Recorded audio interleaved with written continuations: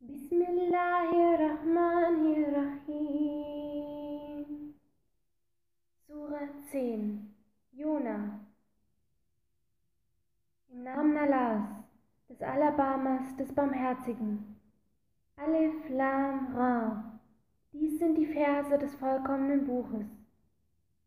Scheint es den Menschen so verwunderlich, dass wir einen Mann aus ihrer Mitte eingegeben haben, warne die Menschen und verkünde die frohe Botschaft denjenigen, die da glauben, dass sie einen wirklichen Rang bei ihrem Herrn innehaben werden?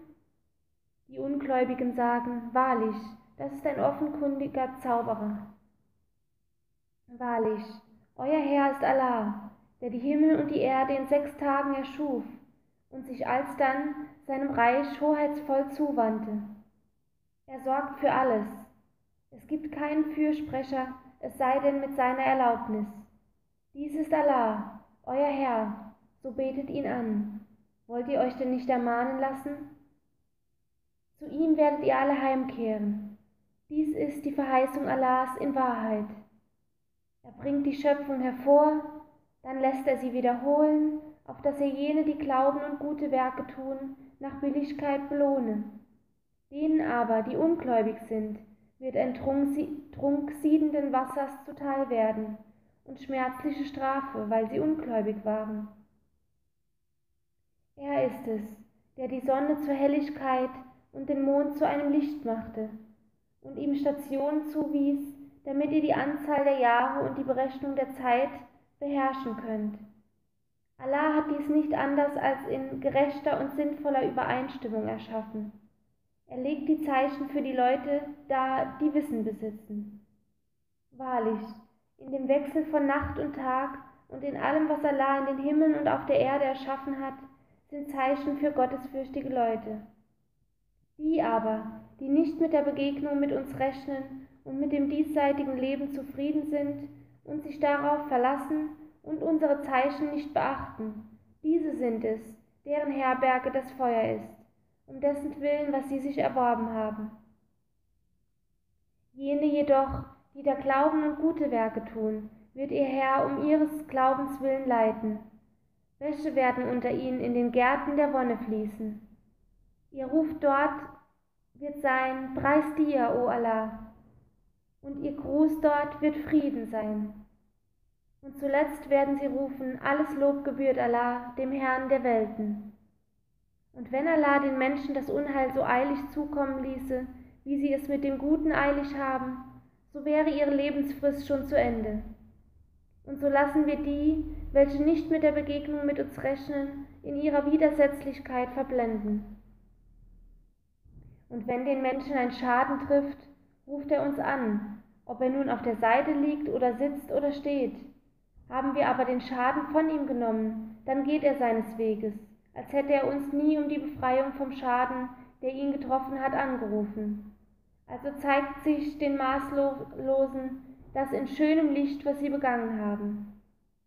Und wir vernichteten die Geschlechter vor euch, als sie frevelten, denn zu ihnen kamen ihre Gesandten mit deutlichen Zeichen, sie aber wollten nicht glauben. Also vergelten wir dies der verbrecherischen Schar. Danach machten wir euch zu ihren Nachfolgern auf der Erde, auf das wir schauten, wie ihr handeln würdet. Und wenn ihnen unsere deutlichen Verse verlesen werden, sagen jene, die nicht mit der Begegnung mit uns rechnen, bring einen Koran, der anders ist als dieser, oder ändere ihn. Sprich, es steht mir nicht zu, ihn aus eigenem Antrieb zu ändern. Ich folge nur dem, was mir offenbart wurde. Ich fürchte, falls ich meinem Herrn ungehorsam bin, die Strafe eines gewaltigen Tages. Sprich, Hätte Allah es gewollt, so hätte ich ihn euch nicht verlesen, noch hätte er ihn euch kundgetan. Ich habe doch wahrlich ein Menschenalter unter euch gelebt, bevor der Koran da war. Wollt ihr denn nicht begreifen? Wer ist wohl ungerechter als jener, der eine Lüge gegen Allah erdichtet oder seine Zeichen für Lüge erklärt? Wahrlich, die Verbrecher haben keinen Erfolg. Sie verehren statt Allah das, was ihnen weder schaden noch nützen kann, und sie sagen, das sind unsere Fürsprecher bei Allah. Sprich, wollt ihr Allah von etwas Nachricht geben, was ihm in den Himmeln oder auf der Erde unbekannt ist? Gepriesen sei er und hoch erhaben ist er über das, was sie ihm zur Seite stellen. Die Menschen waren einst nur eine einzige Gemeinde, dann aber wurden sie uneins. Und wäre nicht ein Wort von deinem Herrn vorausgegangen, wäre zwischen ihnen bereits über das, worüber sie uneins waren, entschieden worden. Und sie sagen, warum ist nicht ein Zeichen zu ihm von seinem Herrn herabgesandt worden? Sprich, das Verborgene gehört Allah allein, darum wartet ab, seht, ich warte auch mit euch ab. Und wenn wir die Menschen Barmherzigkeit erleben lassen, nachdem Unheil sie getroffen hat, siehe, dann beginnen sie wieder gegen unsere Zeichen Pläne zu schmieden. Sprich, Allah schmiedet die Pläne schneller. Unsere Boten schreiben wahrlich alles nieder, was ihr an Plänen schmiedet. Er ist es, der euch zu Lande und zu See Wege bereitet, bis dass, wenn ihr an Bord der Schiffe seid und diese mit ihnen, den Passagieren, bei gutem Wind dahinsegeln und sich darüber freuen, ein Sturm sie plötzlich erfasst und die Wogen von allen Seiten über sie zusammenschlagen. Und sie meinen schon, sie seien rings umschlossen. Da rufen sie Allah in vollem aufrichtigen Glauben an.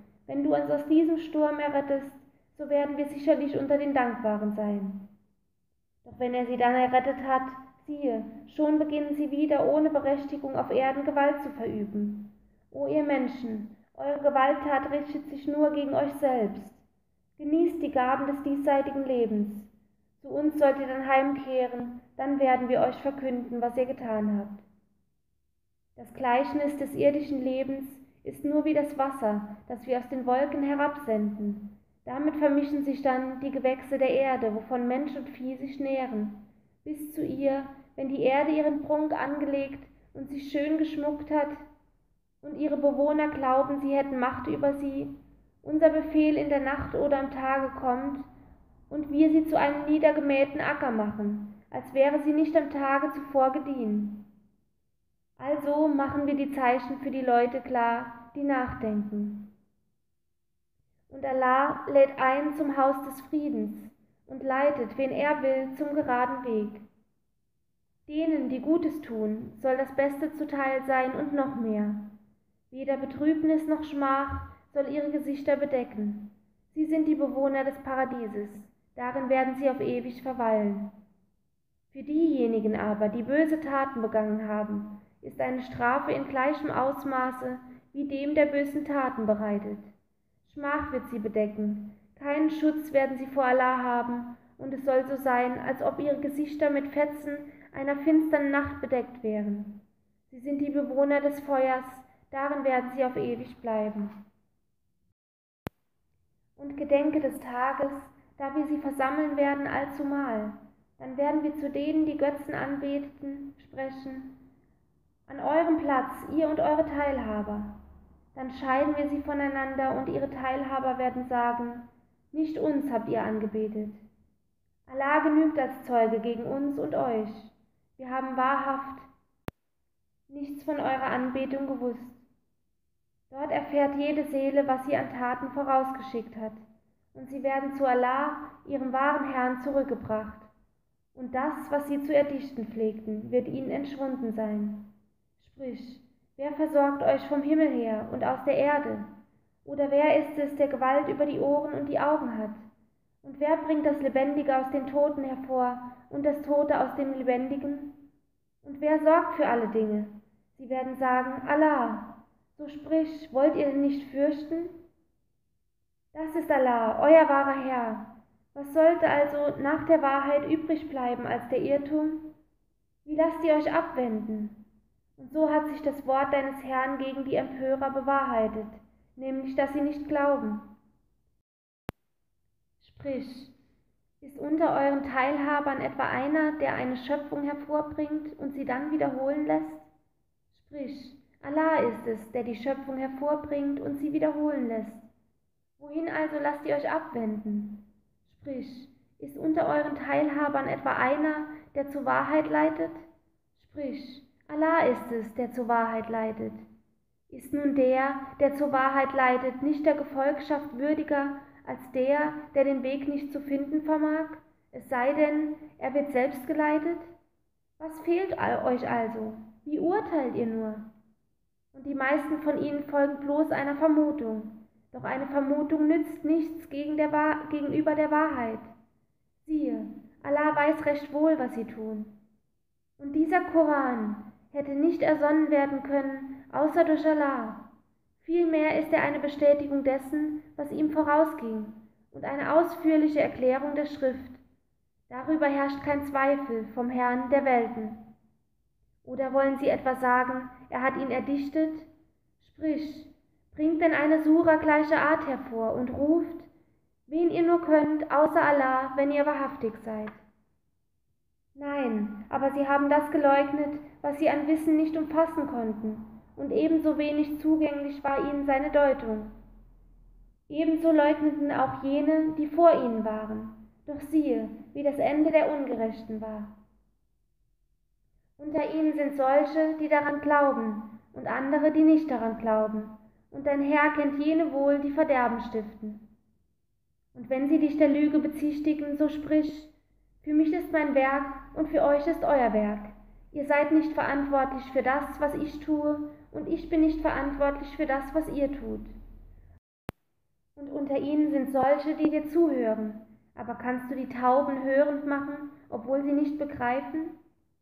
Und unter ihnen sind solche, die auf dich schauen, aber kannst du den Blinden den Weg weisen, obwohl sie nicht sehen? Wahrlich, Allah fügt den Menschen kein Unrecht zu, die Menschen aber begehen Unrecht gegen sich selbst. Und an dem Tage, an dem er sie vor sich versammelt, kommt es ihnen so vor, als hätten sie nur eine Stunde an einem Tage auf Erden verweilt. Sie werden einander erkennen. Verloren, wahrlich haben jene, die die Begegnung mit Allah leugneten und nicht recht geleitet waren. Und ob wir dir einige Dinge zeigen, die wir ihnen angedroht haben, oder ob wir dich sterben lassen, zu uns werden sie dann heimkehren. Hernach ist Allah Zeuge all dessen, was sie tun. Und für jede Nation ist ein Gesandter bestimmt.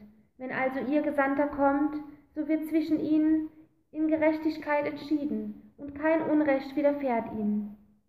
Und sie sagen, wann wird dieses Versprechen verwirklicht werden, wenn ihr wahrhaftig seid? Sprich, ich vermag mir selber weder zu schaden noch zu nutzen, es sei denn, Allah will es. Jeder Gemeinschaft ist eine Frist bestimmt, und wenn ihre Frist um ist, so können sie nicht hinter ihr eine Stunde zurückbleiben, noch können sie ihr vorausgehen. Sprich, was meint ihr, wenn seine Strafe über euch kommt, bei Nacht oder bei Tage, wie werden die Verbrecher sich ihr entziehen? Wollt ihr erst dann an sie glauben, wenn sie eintrifft? Wie, jetzt? Und doch wolltet ihr sie beschleunigen. Dann wird zu den Ungerechten gesagt werden, kostet nun die Strafe der Ewigkeit. Erhaltet ihr denn etwa anderes als das, wofür ihr vorgesorgt habt? Und sie fragen dich, ist das die Wahrheit? Sprich, ja, bei meinem Herrn. Es ist ganz gewiss die Wahrheit, und ihr könnt es nicht verhindern. Und wenn eine jede Seele, die Unrecht begangen hat, alles besäße, was auf Erden ist, würde sie versuchen, sich damit von der Strafe loszukaufen und sie werden Reue empfinden, wenn sie sehen, wie die Strafe über sie kommt. Und es wird zwischen ihnen in Gerechtigkeit entschieden werden, und sie sollen kein Unrecht erleiden. Wisset, Allahs ist, was in den Himmeln und was auf Erden ist. Wisset, Allahs Verheißung ist wahr, doch die meisten von ihnen wissen es nicht. Er macht lebendig und lässt sterben, und zu ihm kehrt ihr zurück. O ihr Menschen, nunmehr ist von eurem Herrn eine Ermahnung zu euch gekommen, und eine Heilung für das, was euch in eurer Brust bewegt, und eine Führung und Barmherzigkeit für die Gläubigen. Sprich, über die Gnade Allahs und über seine Barmherzigkeit, darüber sollen sie sich nun freuen. Das ist besser als das, was sie anhäufen. Sprich, habt ihr das betrachtet, was Allah euch an Nahrung herabgesandt hat, woraus ihr aber etwas Verbotenes und, und Erlaubtes gemacht habt? Sprich, hat Allah euch das gestattet oder erdichtet ihr Lügen gegen Allah? Was meinen wohl jene, die Lügen gegen Allah erdichten, vom Tage der Auferstehung? Wahrlich, Allah ist gnadenvoll gegen die Menschen, jedoch die meisten von ihnen sind nicht dankbar. Du unternimmst nichts und du verliest von diesem Buch keinen Teil des Koran, und ihr begeht keine Tat, ohne dass wir eure Zeugen sind, wenn ihr damit vollauf beschäftigt seid. Und auch nicht das Gewicht eines Stäubchens auf Erden oder im Himmel ist vor deinem Herrn verborgen. Und es gibt nichts, weder etwas Kleineres als dies, noch etwas Größeres, das nicht in einem Buche voller Klarheit stünde. Wisset, dass über Allahs Schützlinge keine Furcht kommen wird, noch sollen sie traurig sein. Diejenigen, die da glauben und rechtschaffen sind, für sie ist die frohe Botschaft im diesseitigen Leben so wie im Jenseits bestimmt. Unabänderlich sind Allahs Worte, das ist wahrlich der gewaltige Gewinn. Und sei nicht betrübt ihre, über ihre Rede, alle Erhabenheit gebührt Allah allein. Er ist der Allhörende, der Allwissende. Wisset, dass Allahs ist, wer immer in den Himmeln und wer immer auf, auf der Erde ist. Und diejenigen, die da andere außer Allah anrufen, folgen nicht diesen Teilhabern. Sie folgen nur einem Wahn und sie vermuten nur. Er ist es, der die Nacht für euch gemacht hat, auf dass ihr in ihr ruht, und den Tag voll von Licht. Wahrlich, hierin liegen Zeichen für die Leute, die hören können. Sie sagen, Allah hat sich einen Sohn genommen, gepriesen sei er. Er ist der sich selbst genügende. Sein ist, was in den Himmeln und was auf der Erde ist. Ihr habt keinen, keinen Beweis hierfür. Wollt ihr von Allah etwas behaupten, was ihr nicht wisset? Sprich, jene, die eine Lüge gegen Allah erdichten, werden keinen Erfolg haben. Eine Weile Genuss in dieser Welt, dann werden sie zu uns heimkehren. Dann werden wir sie die strenge Strafe dafür kosten lassen, dass sie ungläubig waren. Und verließ ihnen die Geschichte von Noah, als er zu seinem Volke sagte, O mein Volk, wenn mein Rang und meine Ermahnung durch die Zeichen Allahs für euch unerträglich sind, so setze ich mein Vertrauen in Allah. So beschließt nur eure Angelegenheiten und versammelt eure Teilhaber und belasst euer Plan nicht im Verborgenen, sondern handelt gegen mich und gebt mir keine Wartezeit. Kehrt ihr mir aber den Rücken, so habe ich von euch keinen Lohn verlangt. Mein Lohn ist allein bei Allah. Und mir wurde befohlen, zu den Gottergebenen zu gehören. Doch sie bezichtigten ihn der Lüge, darum retteten wir ihn und die, die bei ihm im Schiff waren. Und wir machten sie zu den Nachfolgern der Menschen, während wir jene ertrinken ließen, die unsere Zeichen für Lügen hielten. Schau also, wie das Ende derer war, die gewarnt worden waren. Dann schickten wir nach ihm Gesandte, jeden zu seinem Volk, und sie brachten ihnen klare Beweise. Allein sie wollten unmöglich an das glauben, was sie zuvor verleugnet hatten so versiegeln wir die Herzen der Übertreter. Dann schickten wir nach ihnen Moses und Aaron mit unseren Zeichen zu Pharao und seinen Vornehmen. Sie aber waren hochmütig und sie waren ein verbrecherisches Volk. Als nun die Wahrheit von uns zu ihnen kam, da sagten sie, das ist gewiss ein offenkundiger Zauber. Moses sagte, sagt ihr solches von der Wahrheit, nachdem sie zu euch gekommen ist? Ist das Zauberei? Und die Zauberer haben niemals Erfolg. Sie sagten, bist du zu uns gekommen, um uns von dem abzulenken, was wir bei unseren Vätern vorfanden? Und wollt ihr beide die Oberhand im Lande haben? Wir aber wollen euch nicht glauben. Da sagte Pharao, bringt mir einen jeden kundigen Zauberer herbei. Als nun die Zauberer kamen, sagte Moses zu ihnen, werft, was ihr zu werfen habt. Als sie dann geworfen hatten, sagte Moses, was ihr gebracht habt, ist Zauberei. Allah wird es sicher zunichte machen. Denn wahrlich, Allah lässt das Werk der Verderbenstifter nicht gedeihen. Und Allah stärkt die Wahrheit durch seine Worte, auch wenn es die Verbrecher verwünschen. Und niemand bekannte sich zu Moses, bis auf einige junge Menschen aus seinem Volk, voller Furcht vor Pharao und seinen Vornehmen. Er, Pharao, würde sie verfolgen. Und in der Tat war Pharao ein Tyrann im Land. Und wahrlich, er war einer der Maßlosen. Und Moses sagte, O mein Volk, habt ihr an Allah geglaubt, so vertraut nun auf ihn, wenn ihr euch ihm wirklich ergeben habt. Sie sagten, auf Allah vertrauen wir. Unser Herr, mache uns nicht zu einer Versuchung für das Volk der Ungerechten. Und er rette uns durch deine Barmherzigkeit von dem Volke der Ungläubigen. Und wir gaben Moses und seinem Bruder ein, Nehmt in Ägypten einige Häuser für euer Volk und macht sie zur Begegnungsstätte und verrichtet das Gebet. Und weiter, verkündet den Gläubigen die frohe Botschaft. Und Moses sagte, unser Herr, du gabst die Pracht sowie die Reichtümer im diesseitigen Leben dem Pharao und seinen Vornehmen, unser Herr, damit sie von deinem Weg abhalten. Unser Herr, zerstöre ihre Reichtümer und triff ihre Herzen, so dass sie nicht glauben, ehe sie die schmerzliche Strafe erleben. Er sprach, Euer Gebet ist erhört. Seid ihr beide denn aufrichtig und folgt nicht dem Weg derer, die unwissend sind. Und wir führten die Kinder Israels durch das Meer, und Pharao mit seinen Heerscharen verfolgte sie widerrechtlich und feindlich, bis er nahe daran war, zu ertrinken, und sagte, ich glaube, dass kein Gott ist als der, an den die Kinder Israels glauben, und ich gehöre nun zu den Gottergebenen. Wie, jetzt, wo du bisher ungehorsam und einer derer warst, die Unheil stifteten? Nun wollen wir dich heute dem Leibe nach erretten, auf dass du ein Beweis für diejenigen seiest, die nach dir kommen. Und es gibt sicher viele Menschen, die unsere Zeichen keine Beachtung schenken.